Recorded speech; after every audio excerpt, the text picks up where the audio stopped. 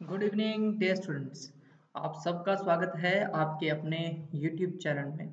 तो गाइज़ आज की वीडियो में हम लोग करने जा रहे हैं एम हम लोग कुछ एम करेंगे। आर्मी अग्निवीर एस एस और कम्पिटेटिव एग्ज़ाम्स में ये क्वेश्चन जो है, ये बहुत बार पूछे जाते हैं।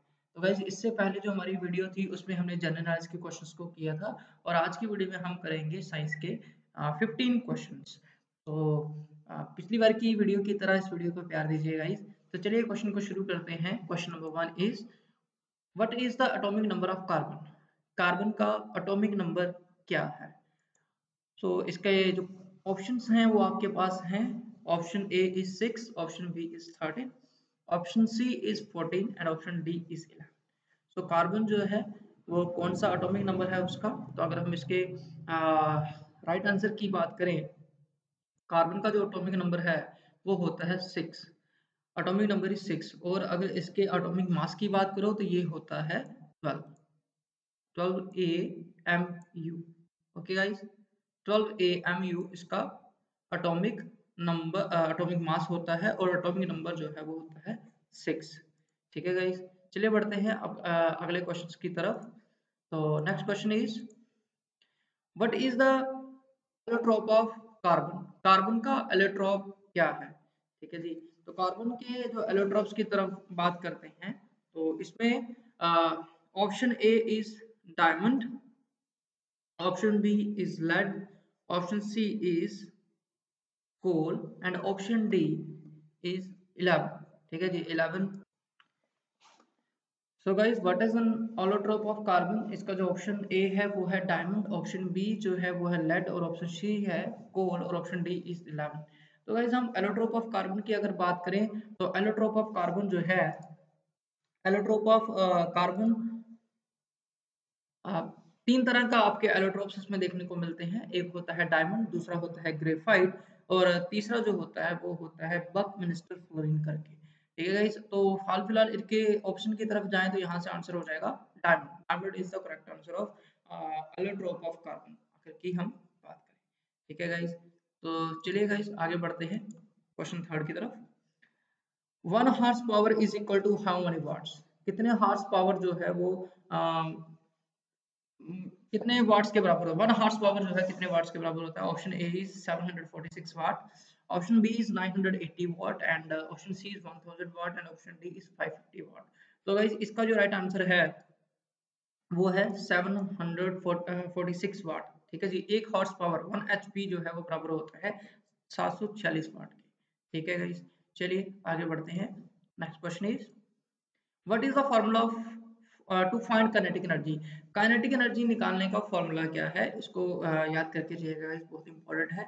यहाँ पे ऑप्शंस के अंदर गलती से टू लिखा गया है। This is not two exactly यहाँ पे स्केयर आना था। One by two m v square जो है वो केनेटिक एनर्जी का फॉर्मूला होता है और एम जी एच जो होता है ये पोटेंशियल एनर्जी का रहता है। ठीक है तो एम जी एच जो है वो किसका रहता है? पोटेंशियल एनर्जी का। तो यहाँ पे लिख लेते हैं। ये जो है ये किसका है? अच्छा इसका राइट आंसर होगा one by two m v square तो one bar one upon two m v square जो है उसका राइट आंसर रहेगा। और ये जो रहता है, ये किसका रहता है? इस ये रहता है पोटेंशियल एनर्जी का। इसका जी? पोटेंशियल एनर्जी ठीक है गाइस पोटेंशियल पोटेंशियल एनर्जी इसको याद रखिएगा। पोटेंशियल एनर्जी का फॉर्मूला रहता है m g h mass into gravity into height यहाँ पे तीन चीज़ें जो होती हैं, वहाँ हम पोटेंशियल एनर्जी निकालते हैं। काइनेटिक एनर्जी जो होता है मास इनटू वेलोसिटी पे डिपेंड करता है। ठीक है जी? मास इनटू वेलोसिटी तो option A is the correct answer of question number 4 चलिए बढ़ते हैं आपके नेक्स्ट क्वेश्चन की तरफ़। Question number 5 is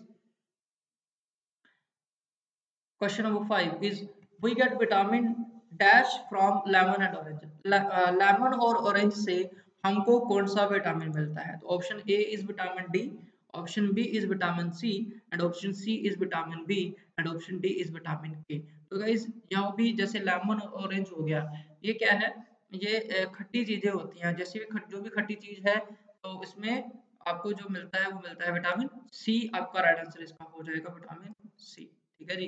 vitamin D की बात करो तो ये धूप धूप जो है वो वहाँ से मिलता है। ठीक है इस, इस तरीके से।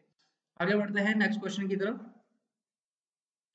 Next question is air is a air क्या है? Option A is mixture option B is compound option C is solution या फ्लूइड अब देखिए एयर जो कंपाउंड जो होता है सोल्यूशन देखो सोल्यूशन जो है वो लिक्विड को मिला के जो सोल्यूशन बनाया जाता है, लेकिन आप देखो मिक्सचर क्या होता है? मिक्सचर मिक्सचर में बहुत बहुत सारी चीज़ें होती है। जैसे हम आमतौर पर भी जो मिक्सचर खाते हैं, उसमें कितना कुछ होता है ना? मूंगफली डाली होती है, और भी सेवियाँ होती है, और भी कितना कुछ होता है। वैसे एयर जो है जो बहुत सारी गैसेस का मिक्सचर है कंपाउंड नहीं है इट्स अ मिक्सचर क्या होता है?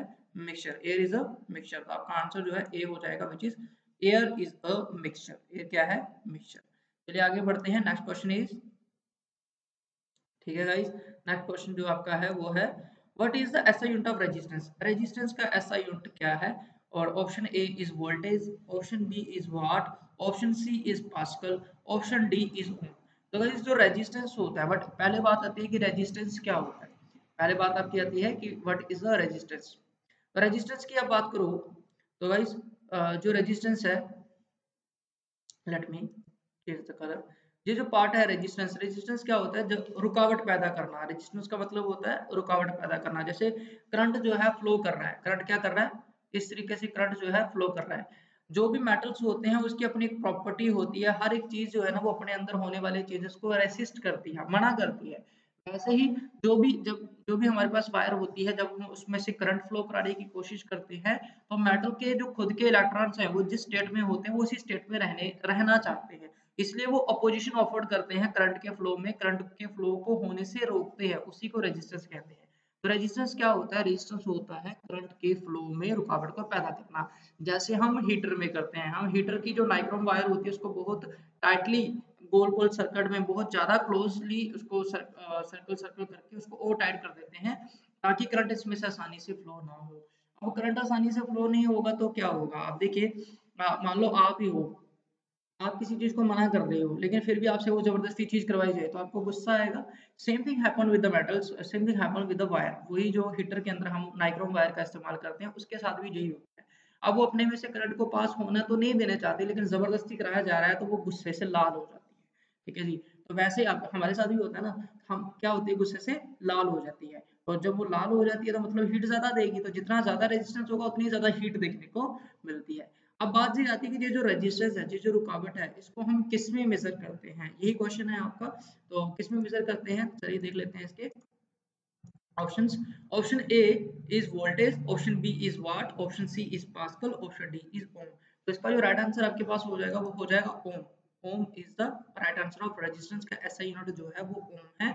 हम यही से पता करते हैं रेजिस्टेंस से हम आ, हम ये पता करते हैं कितने ओम का रेजिस्टेंस इस्तेमाल किया गया है। ठीक है गाइस और रेजिस्टेंस का बहुत बड़ा रोल है। V is equal to I R ohm's में बहुत ज़्यादा काम आता है, इसको भी याद रखिएगा। By ohm's law V is equal to I R ठीक है? I R this is very important V is equal to I R ये ओम्स लॉ का है, इसको याद रखिएगा, क्योंकि एग्ज़ाम्स के अंदर इसको भी पूछा जा सकता है। V is equal to I R तो ऑप्शन ए इज़ वोल्टेज था। अब वोल्टेज की बात करो तो ये पोटेंशियल डिफरेंस का होता है। शॉर्ट में पीडी लिखते हैं, ठीक है जी? वाट ये पावर का आ गया। ठीक है जी? पास्कल ये air pressure atmospheric pressure pascal pressure क्या है? नॉट एटमोस्फेरिक प्रेशर का बट पास्कल जो है प्रेशर के लिए होता है। किसके लिए होता है जी? प्रेशर कितना प्रेशर लग रहा है तो उसको हम पास्कल में मेजर करते हैं। किसमें मेजर करते हैं जी? पास्कल में। पास्कल जो होता है, ये क्या होता है? प्रेशर पास्कल प्रेशर ठीक है गाइस आई होप सो थोड़ा सा माउस के साथ लिखने का एक्सपीरियंस नहीं है इतना। तो प्रेशर प्रेशर ठीक है गाइस पास्कल चलिए, आगे बढ़ते हैं। The next next is what is the chemical formula of gold gold का केमिकल फॉर्मूला क्या है? और ऑप्शन की बात करें तो ऑप्शन ए आपके पास आ गया ए यू ऑप्शन बी आ गया एस एन ऑप्शन सी आ गया ए जी और ऑप्शन डी आ गया पी टी तो इसका जो राइट right आंसर आपके पास हो जाएगा that will be A U A G जो है वो गोल्ड को हम ए यू सिंबल से लिखते हैं। ठीक है गाइस तो चलिए, आगे बढ़ते हैं। Next question is if the atomic number of sodium is 11 अगर सोडियम का एटॉमिक नंबर 11 है तो इसका मास नंबर कितना होगा? ठीक है गाइस तो इसका गाइस आपको मास याद करना पड़ेगा। ऑलमोस्ट डबल डबल होता है, लेकिन 22 पॉइंट समथिंग होता है। तो इसीलिए हम क्या करते हैं, इसकी वैल्यू को ज़्यादातर 23 भी काउंट कर देते हैं। इसका जो आंसर हो जाएगा हो जाएगा 23 ऑप्शन में दिया है 11 12 13 और 23 but your option D is correct answer that is 23 is the right answer of question number 9 ठीक है गाइस आगे बढ़ते हैं। Next question is which of the following is an acid इनमें से कौन सा एसिड है NaCl HCl NaOH and KaOH ठीक है गाइस इनमें से कौन सा एसिड है इसकी so guys which of the following is an acid बात करें तो इसमें लिखा है NaCl ये तो एक सॉल्ट है है ना? HCl हाइड्रोक्लोरिक एसिड HCl जो है एक एसिड होता है जो हमारे स्टोमक के अंदर भी इसका जो है ये ज़्यादातर रहता है। तो इसका आंसर रहेगा आपके पास HCl HCl हाइड्रोक्लोरिक एसिड ठीक है जी? हाइड्रोक्लोरिक एसिड के नाम से इसको जानते हैं। ठीक है HCl is the right answer of this आगे बढ़ते हैं क्वेश्चन नंबर 11 की तरफ़। Density of water is maximum is पानी की जो डेंसिटी है, वो किसमें मैक्सिमम होती है? तो पानी किसमें मैक्सिमम डेंसिटी होती है? तो पानी की जो मैक्सिमम डेंसिटी है, वो होती है ऑप्शन ए दिया है four degree centigrade option B zero degree centigrade option C hundred degree centigrade and option D minus two hundred seventy three centigrade तो density of water is maximum at किस पे होती है? इसको याद रखिएगा फोर डिग्री सेंटीग्रेड पे। यहाँ पे डिग्री आएगा डिग्री लिखा नहीं है तो लीजिएगा। फोर डिग्री सेंटीग्रेड इसका राइट आंसर आपका हो जाएगा। ठीक है गाइस चलिए बढ़ते हैं आगे नेक्स्ट क्वेश्चन की तरफ़। Next question is who give the laws of motion तो मोशन के लॉज किसने दिए थे? अभी ये बात मतलब बहुत आसान है, क्योंकि हमने भी लॉज ऑफ़ मोशन पढ़ा है, जिसमें first law second law third law पढ़ा है। सो so, किसने लॉ दिए थे? ये न्यूटन ने दिए थे। ऑप्शन में दिखा Newton Einstein Horsley and Archimedes but option A is correct Newton Newton के तीन लॉ है guys first law law of inertia भी बोलते हैं। फ़र्स्ट लॉ को हम बोलते हैं लॉ ऑफ़ इनर्शिया ठीक है guys second law F is equal to ma mass into acceleration. And third law to every action there is equal and opposite reaction. तीन लॉज हैं इसके कुल मिला के। न्यूटन जी ने तीन लॉ दिए थे। ठीक है इसको याद कर लीजिएगा। चलिए आगे बढ़ते हैं। Next question is which gas is required to live हमें ज़िंदा रहने के लिए किस गैस की आवश्यकता होती है? Option A is methane option B is nitrogen option C is oxygen और option D is helium obviously guys ये सभी को पता है कि हम जो ज़िंदा है वो किसके कारण है? ऑप्शन सी यानी ऑक्सीजन के कारण ही ज़िंदा है। चलिए आगे बढ़ते हैं। क्वेश्चन नंबर 14 जो है, वो आपके पास आता है। Goitre in human body is caused by dash deficiency जो ग्योटर है, वो ह्यूमन बॉडी के अंदर किस डिफिशिएंसी के कारण होता है? देखो गाइस ग्लूटर क्या होता है? इसमें बॉडी का जो मास का एक पार्ट है, वो बढ़ जाता है। जैसे थ्रॉट कईयों के बहुत बड़े बड़े हो जाते हैं ना, गले के नीचे, ऐसे गैंगा गैंगा रोग इसको हिंदी में बोलते हैं, वो हो जाता है। ये किसकी कमी के कारण होता है? तो इसका ऑप्शन नहीं है कॉपर की कमी के कारण आयरन की कमी के कारण आयोडीन की कमी के कारण, या ऑक्सीजन की कमी के कारण। तो जो option C is correct iodine जब आयोडीन की कमी होती है तो उसके कारण हमको गैंगा रोग, गाइटर जो है, वो हो जाता है। गैंगा रोग देखने को मिलता है। तो ऑप्शन डी इज़ करेक्ट तभी कहते हैं कि जो नमक है, वो हमको आयोडीन युक्त नमक जो है, वो खाना चाहिए। ठीक है जी? चलिए, आगे बढ़ते हैं। Next question is and the last question of today sorry guys so next question is decibel is the unit of ये डेसिबल है, ये किसका यूनिट है? डेसिबल जो है, ये किसका यूनिट है? Decibel is the unit of तो option A is speed of light option B is option B sound intensity option C is electricity option D is energy ठीक है गाइस तो अब देखिए डेसिबल जो होता है ना, ये साउंड इंटेंसिटी का होता है। साउंड इंटेंसिटी हम कितने डेसिबल की साउंड सुन सकते हैं? इसलिए किसका यूनिट होता है? साउंड इंटेंसिटी ठीक है गाइस तो ये थे आज के 15 क्वेश्चंस ठीक है गाइज़ आई होप सो आपको वीडियो अच्छा लगा होगा और गाइज़ अगर आपको वीडियो अच्छा लगा है, ठीक है गाइज़ अगर आपको ये वीडियो अच्छा लगा तो इस वीडियो को लाइक कीजिएगा शेयर कीजिएगा और कमेंट कीजिएगा, ठीक है जी?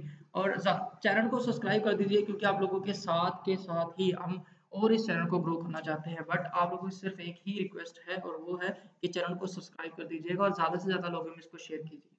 और प्लीज़ अपने वैल्यूबल कमेंट्स हमको ज़रूर दीजिए कि इस वीडियो में क्या अच्छा लगा और हम इसको और किस तरीके से बेहतर बना सकते हैं ताकि हम इसमें और कुछ बदलाव करके और अच्छे से कर पाए। ठीक है गाइस तो नेक्स्ट जो इसका पार्ट है, उसमें हम मैथमेटिक्स के कुछ क्वेश्चन को डील करेंगे। और, मिलते हैं फिर नेक्स्ट वीडियो में। टिल देन गुड बाय जय हिंद।